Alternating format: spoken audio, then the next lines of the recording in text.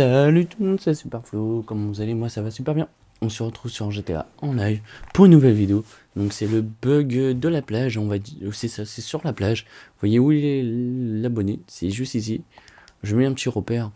Donc il faut une moto parce qu'il y a des cartons devant ou soit des une voiture quand il n'y a pas les cartons.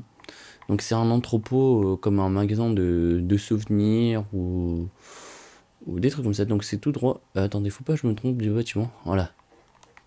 C'est ici. vous voyez les cartons. Là, on peut passer derrière.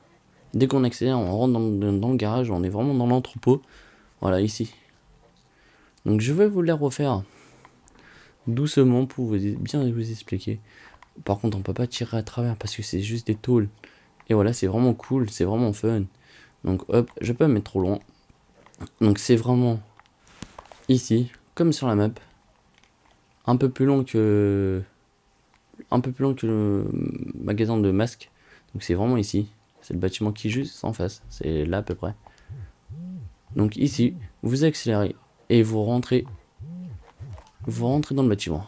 Comme ça. Voilà. Et du coup on est dedans. Si la vidéo vous a plu, n'oubliez pas de aimer, partager, vous abonner. Et puis c'est tout. Salut, salut, salut